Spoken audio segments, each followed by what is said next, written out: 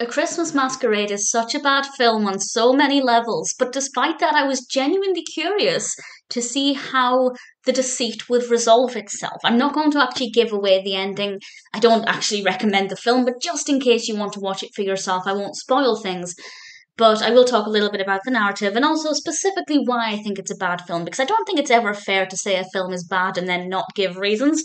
This is a Christmas film from 2022, directed by Michelle Ollet, or Orlet, I apologise if I've mispronounced that, written by Julia Cranney, and it stars Erin Agostino as Julianne and David LaFontaine as Michael. And I will say, neither of them are likable characters.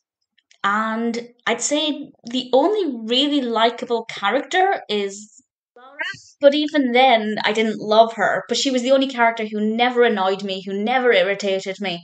And that's not to say anything bad about the characters or the actors' performances. I just think, for the most part, these are generally really irritating, badly written characters, and their motivations aren't realistic. The development of the narrative doesn't make sense.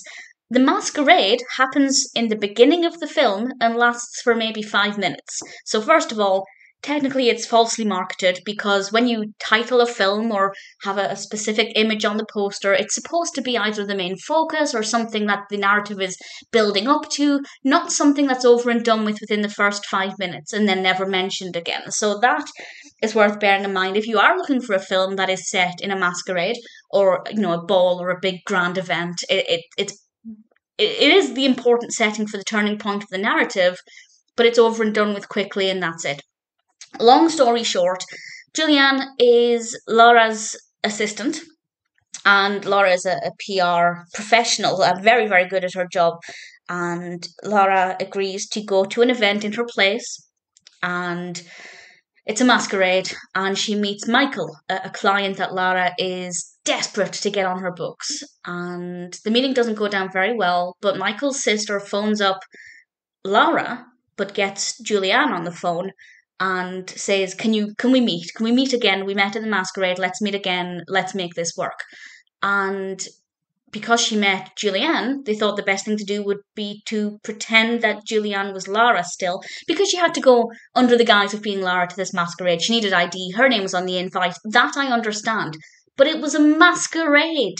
The point of a masquerade is that you're not showing your true identity. People can't quite see you. There's one point where Michael was described as being I don't know, five foot six or something, um, with a strong jaw, dark hair, and a jacket. And immediately Julianne knew which person it was. That described pretty much most of the males in that room at that time. So that was ridiculous.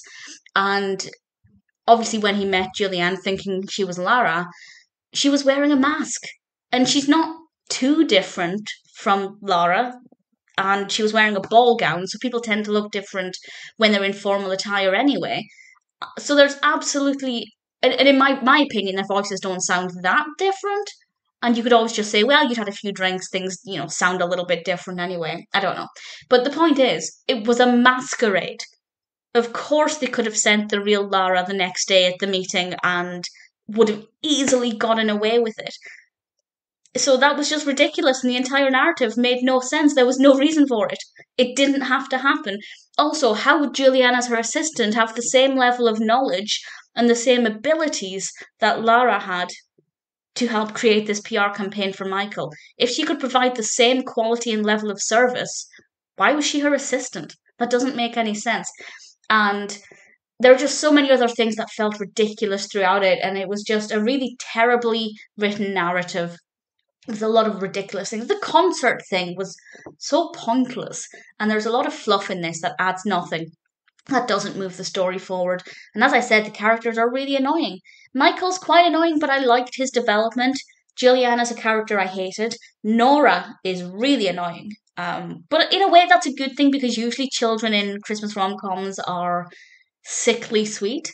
She's actually a little bit more realistic. So it, she may have been you know very well acted, no problems there. Um, but in terms of the way the character is written, she's a little bit mischievous.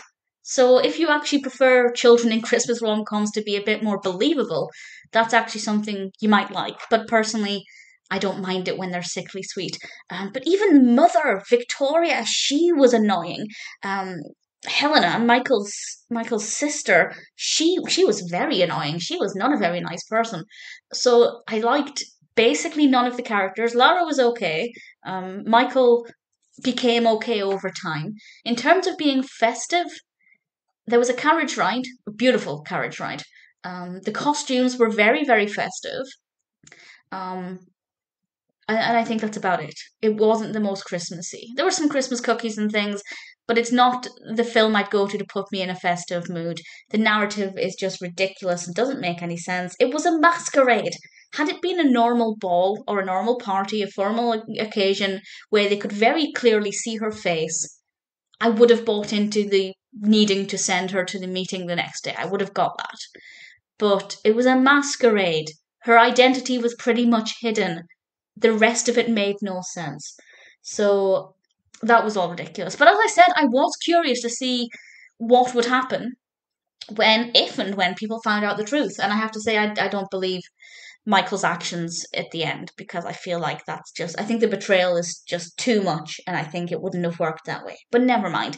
Not a good film. I don't recommend it. The narrative's ridiculous and the characters are annoying and it's not even that festive. It's very, very rare that I'm this negative about a Christmas rom com because usually I'm very easy to please. All I look for is a couple of likable characters, a good narrative, or even just a narrative that makes sense, and uh, some festivities. I don't need too much. I don't need complex narratives. I don't need amazing character development. But unfortunately, this film couldn't even meet that.